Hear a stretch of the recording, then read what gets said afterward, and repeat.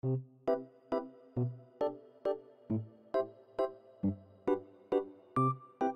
niece graduated from med school this spring and works at a medical facility. To celebrate her new job, I decided to give her a gift. She loves the Snoopy character, so I was thinking of something Snoopy's. I made a magnet photo of my dog by using Mod Podge Dimensional Magic. That was the first time I used resin and it was straightforward and I loved it. It has been about 10 years since I made it and it's still in great condition. However, the dimensional magic requires 24 hours to cure. So this time I will use UV resin that cures more quickly than Mod Podge and gel tape as a mold to make a Snoopy resin badge for her.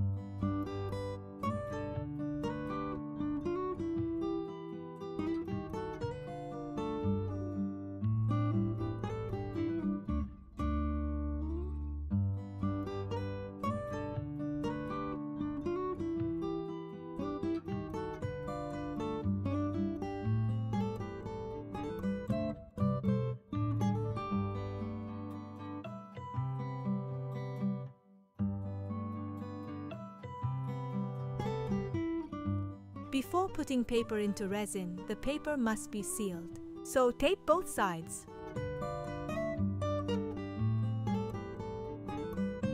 Firmly stick the tape to the design and finish the edges with a wood stick. Cut leaving about 1 millimeter to prevent the resin from seeping through. But cut the tape as close to the edge as possible so that the plastic will not stand out when placed into the resin. Actually, I tried different ways to seal the design. First, I sealed it with Mod Podge. But even after three coats, the resin solution seeped through and looked like this. It didn't work, so I decided to use tape to seal the design.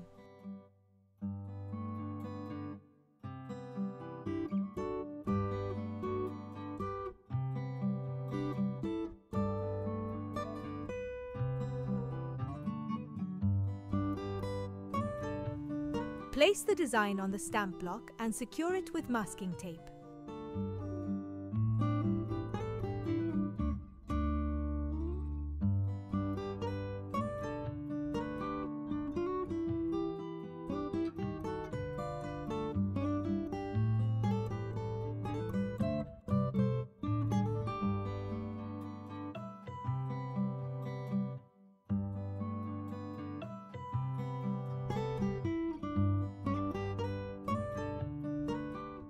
Tape is very stretchy, so apply it to the stamp block without pulling.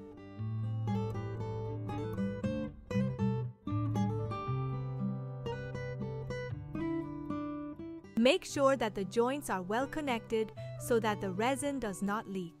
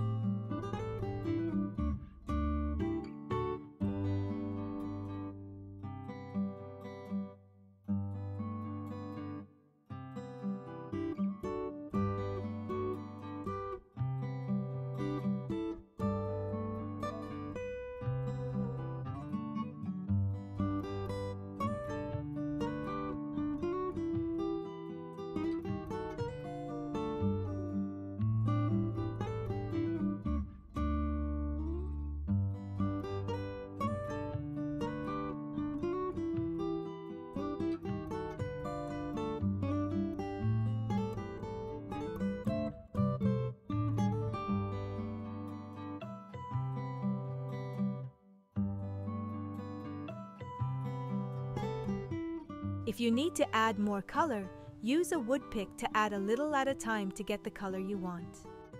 However, be careful not to use too much colorant or the resin will not harden.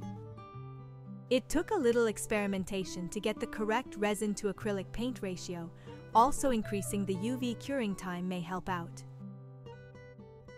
I found this tool at a Dollar Tree. It's good for scooping up the resin and pouring it into the mold. This was my first time creating something with resin, so I tried using a different type of UV resin before making this video, but it was hard to handle creating many air bubbles. The resin in this video does not create excess bubbles and is easy to work with.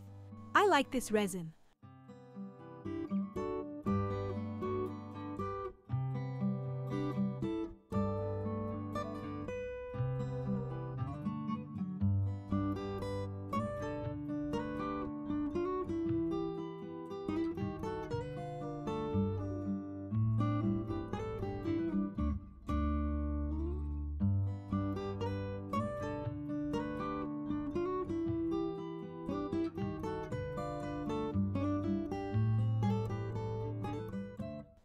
Spice things up, apply Sally Hansen's Miracle Gel Crystal to the surface of the resin to make it sparkle.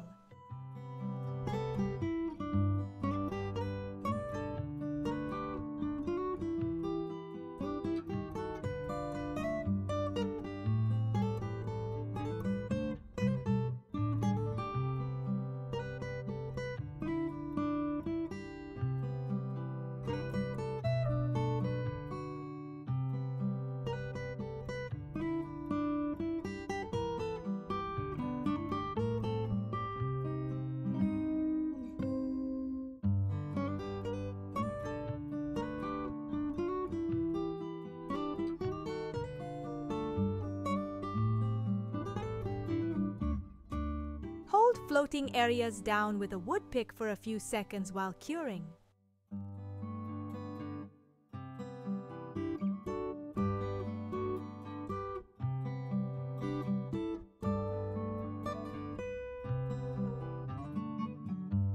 I will use these two types of nail art materials.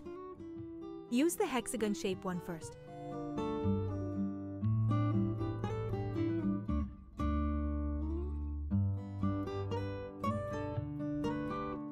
Up one by one with a wood pick and place it on the resin.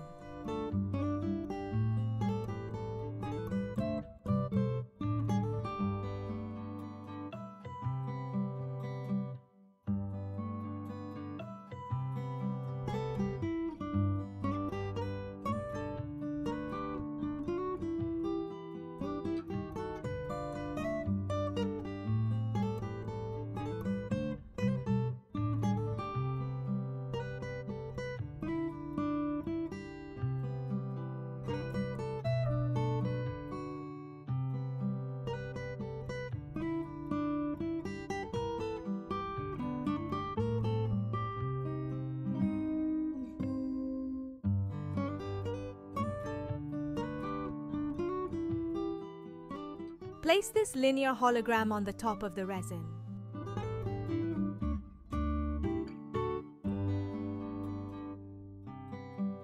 A layer of resin between the two types of holograms makes them a little more three-dimensional.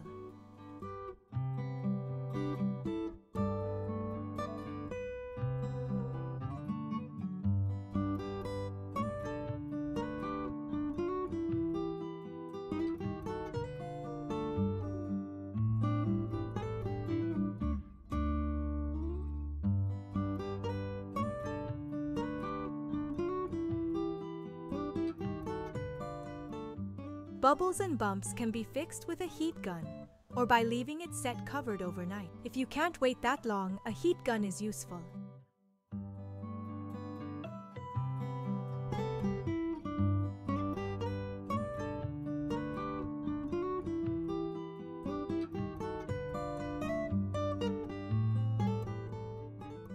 Gel tape is easy to pull off from the resin, so it is ideal to use as a mold when making irregularly shaped objects in resin.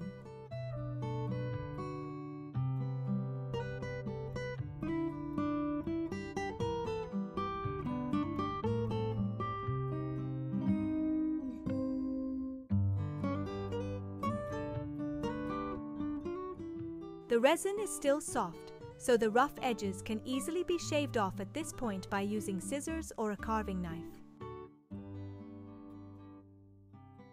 Do not make one big cut because the resin is still soft. If you do, it will make a crack. So cut a little at a time from the edge to about 1 8 inch from the design. This will make it easier to file the edges later.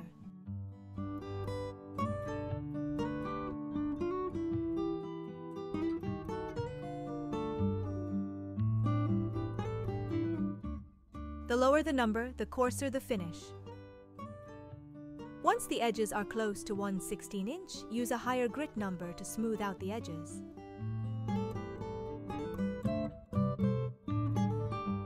While it is still warm, place it under a heavy book overnight to make it flat.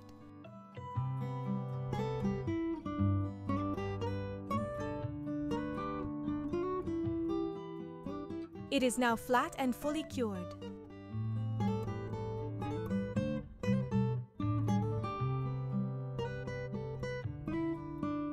The Mod Podge lid at a dollar store was just the right size as a holding device for applying the resin to the edges. Stick gel tape on the small lid and stick the finished resin on it.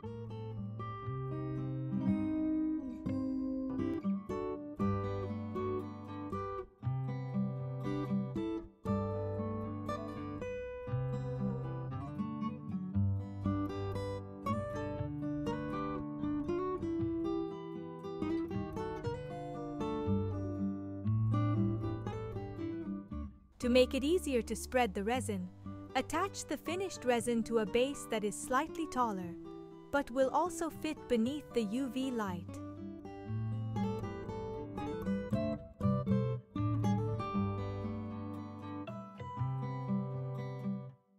Don't worry, it won't spill over because of surface tension, so the finished resin should be placed level.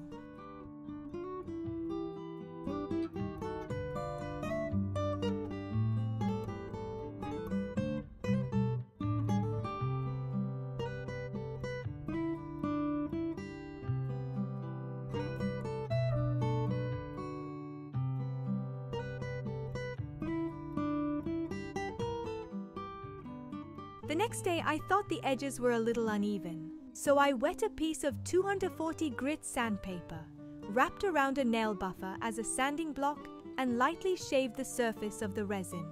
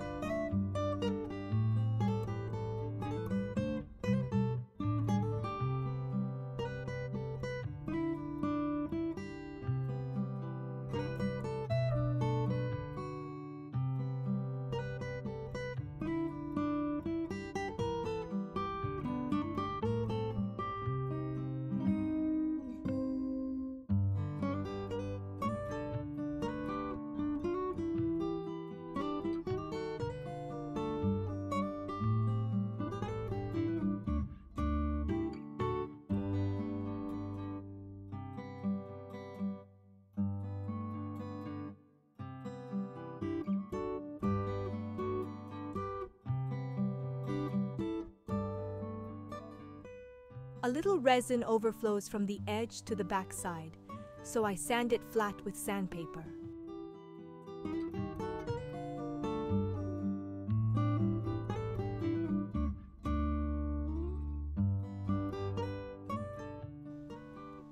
The backside will be attached to the badge, so spread a thin and even layer of resin with a brush.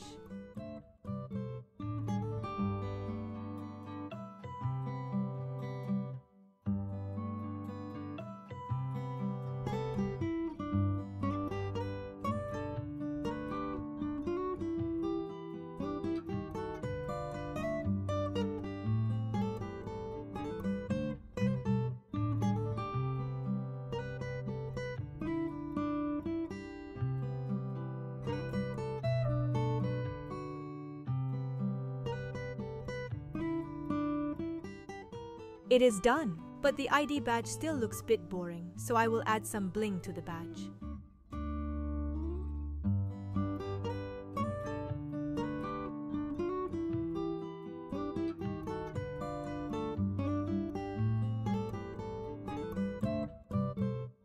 I will alternately stick pearls and diamonds around the badge using resin.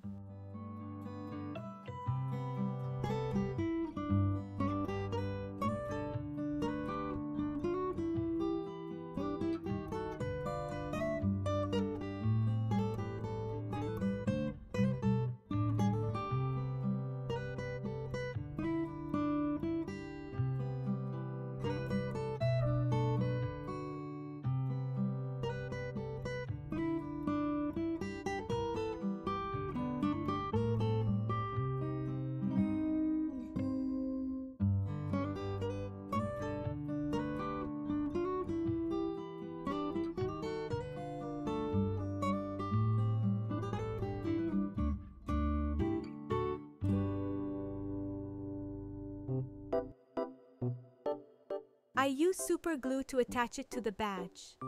You could also use resin or velcro to attach it.